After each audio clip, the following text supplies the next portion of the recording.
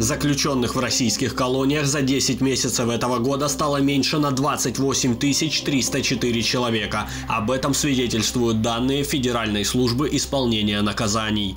Это данные без учета СИЗО и тюрем. Евгений Пригожин или повар Путина, глава ЧВК «Вагнер» и он лично вербует заключенных. Впервые об этом стало известно летом этого года. Война тяжелая.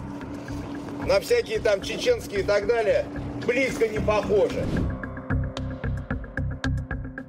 Глава команды против пыток Сергей Бабинец сказал в пятницу агентству, что его организация знает о вербовке заключенных в колониях Москвы, Санкт-Петербурга, Оренбургской и Нижегородской областей Краснодарского края и практически всех регионов Северного Кавказа. Главная мотивация для зэков – свобода. Через полгода уходите домой получив помилование. Зэков в России, которых они вербуют, два пути, да. Либо он продолжает, знаешь, у него есть 10 лет сидеть, 3 отсидел, еще 7 гнить, либо есть вариант досрочно выйти, а, попытать себя счастье на войне, ну, как они себе так считают, да, рисуют, а, и, возможно, выжить. Но выжить удастся далеко не всем, и тем более выйти из войны удастся далеко не всем. Все эти предложения на словах звучат заманчиво, но на деле ни одного подтверждения обещаниям нет. Предлагают, а предлагают, а что получают они в реальности, никто не знает. В реальности пока подтверждено только получить кувалдой, да, по шее, э, показатель. Задача зэков воевать в Украине и тихо умирать. Либо они умирают от пули украинцев, либо умирают не сдаваясь в плен. Во всяком случае, этому их стараются научить. Никто не дает заднюю. Никто не отступает. Никто не сдается в плен. Когда вы будете обучаться, при сдаче в плен вам расскажут две гранаты, которые вы должны иметь с собой.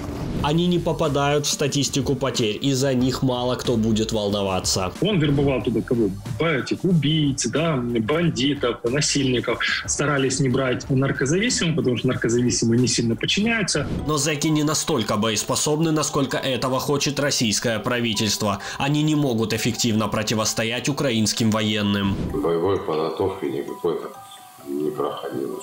Что сказали, он окоп надо брать. И все. И ты должен туда идти. Если туда не пойдешь, тебе, или там застрелят, или тут застрелят. Тюремная жизнь, она не способствует качественному развитию. Это в американских фильмах, когда показывают, что это зэк, он целый день только и качается. Ну, смотрите на российские тюрьмы. То есть, э, питание плохое, с дневного света нету, а, то есть они слабые все уже. То есть нет, ну, как бы, да, там жестокость есть, но они слишком переоценены очень сильно, в первую очередь Кремлю. Не стоит забывать, наемники ЧВК это в первую очередь наемники. За них платит не сам Пригожин по доброте душевной, не Путин из личного кармана. За них платят именно россияне. Его пресс-служба, это Пригожин, Евгений там, Викторович лично финансирует, да? Секундочку, кому? Ну какие деньги личные он дает? Это деньги из российского бюджета. У всего этого есть обратная, не сразу заметная сторона. Чем больше свободных мест мест появляется в колониях и тюрьмах, тем больше несогласных туда можно отправлять. То есть свободное место есть, то всегда можно а, кого-то отправить туда. В ноябре Путин подписал поправки в закон, которые отменяют запрет на призыв на военную службу по мобилизации граждан с неснятой и непогашенной судимостью за большую часть тяжких преступлений. По сути, он теперь не просто закрывает глаза, а узаконивает преступников на войне, таких как Моторола.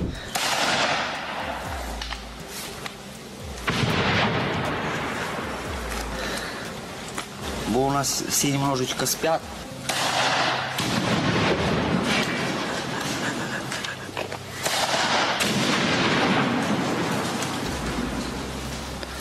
И таким, как он, Путин будет давать медали. Вот настоящие герои путинской войны. Преступники и заключенные, которых будут ставить в пример детям в школах.